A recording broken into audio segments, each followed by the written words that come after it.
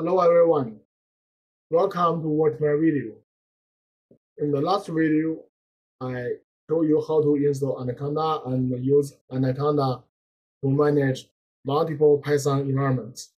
But when I uh, open the Anaconda Navigator by clicking on this icon, it do not uh, show the Anaconda Navigator window.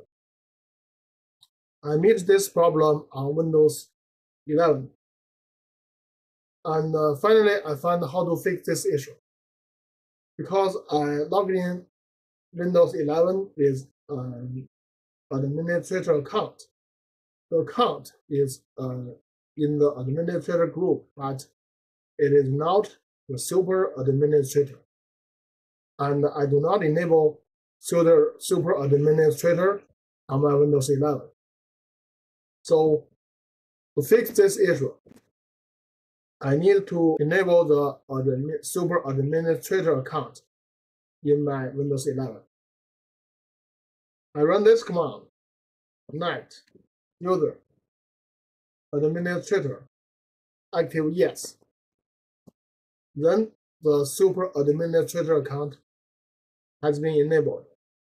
And I can log into Windows 11 use the super administrator account and uh, install Anaconda in that account. And then Anaconda Navigator can be opened in administrator account also. Then you can uh, see now the Anaconda Navigator window can be opened as normal. Uh, there are also other commands. For example, net user administrator active no. This will disable the super administrator account.